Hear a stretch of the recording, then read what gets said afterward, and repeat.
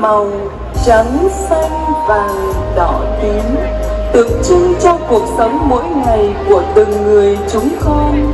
Chúng con xin dâng trong vòng tay từ ái của mẹ. Xin mẹ biến đổi tâm hồn từng người chúng con. Với ước nguyện được thuộc về mẹ mãi mãi, hầu trở nên những đóa hoa thắm hương nhân đức trong mọi biến cố của cuộc đời luôn biết dõi theo gương mẹ sống tin yêu, phó thác trọn vẹn nơi chúa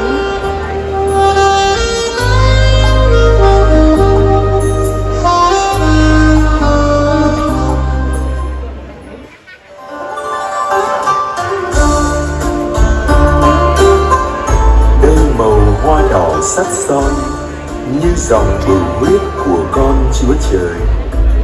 Lạy mẹ maria chúng con kính dâng lên mẹ những bông hoa đỏ, biểu trưng cho sự mạnh mẽ và kiên trưng như xưa, mẹ đã can đảm đứng dưới chân thập giá của con mẹ ở đồi can vê chúng con xin dâng lên mẹ đức thánh cha Francisco, các đức giám mục, linh mục và tu sĩ.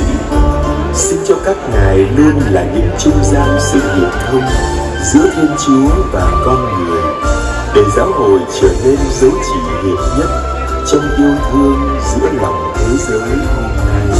Mẹ ơi, con đến tiếng răng sắc hoa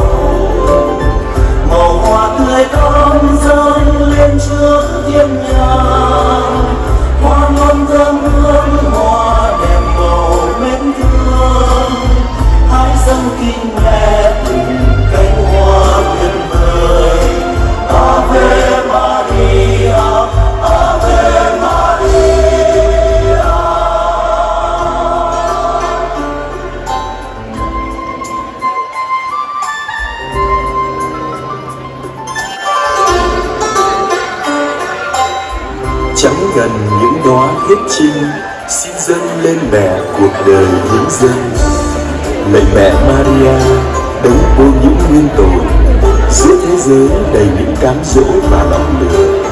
Người trẻ chúng con dễ dàng bước chân vào hố sâu tội lỗi. Xin mẹ thiên đưa tay dìu dắt, để giới trẻ ngày nay cách riêng cho mỗi anh chị em sinh viên công giáo. Dù ở trong hoàn cảnh nào vẫn một lòng sắc son mến chúa, giữ tâm hồn trắng trong ước chi, chúng con chẳng bao giờ xa rời chúa, chẳng bao giờ bước vào bóng tối tội lỗi. Và ước chi chúng con luôn biết nét vào tà áo mẹ. Nhờ mẹ, chúng con yêu mến chúa nhiều hơn. Ngày đây hoa trắng con kính dâng lên mẹ.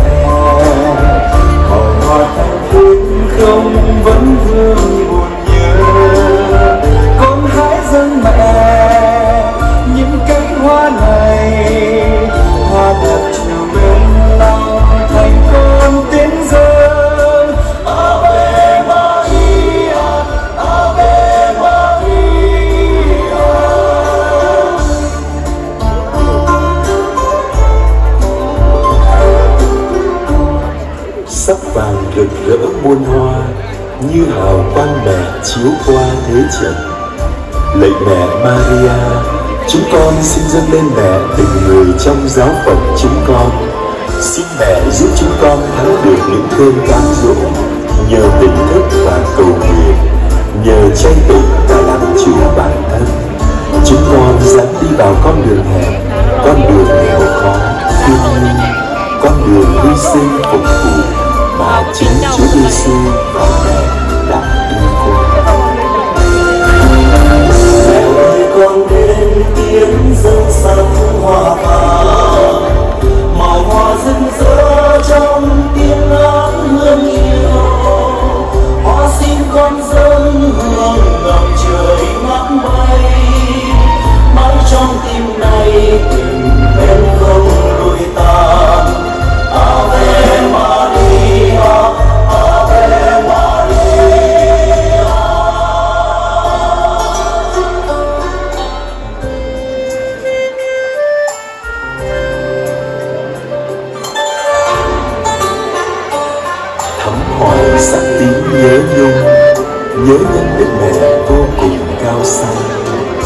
lạy mẹ Maria. Chúng con xin dâng lên mẹ những người nghèo khổ về tinh thần cũng như vật chất. Xin cho có nhiều tấm lòng quảng đại để họ sớm tìm lại được niềm vui hạnh phúc, bình an, thực sự trong tâm hồn, trong đời sống mỗi ngày. Ngày ơi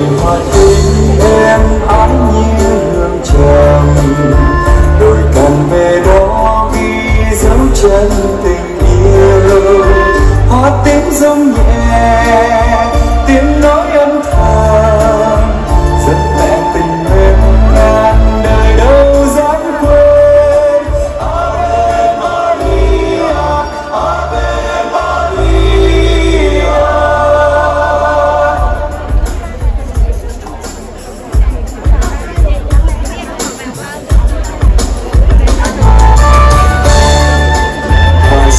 xanh êm dịu kết tà áo mẹ lắng nghe lời người lời mẹ ban Maria chúng con xin dâng lên mẹ những gia đình trẻ trong giáo phận chúng con. Xin cho họ luôn ý thức vai trò người cha, người mẹ trong gia đình. Biết nhận ra và quảng đại đáp lại lời lời gọi của Chúa qua việc hướng dẫn dạy dỗ con